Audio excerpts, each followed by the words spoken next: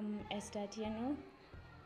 Uh, I'm currently doing community service at Tasia Catholic Primary and Nursery School. I, I got this chance through the through the father, the priest, because we come to church here, so I thought it was a good idea to look for a community service in the church and for the first 15 days, yeah, 15 days, I have been working with the church.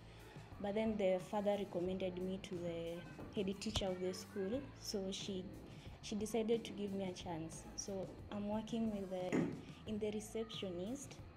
The opportunity has helped me a lot because I get an experience through the reception reception I can I learn to relate with people, how to address parents, how to address different kind of people.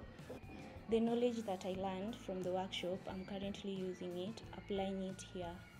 So it's helpful.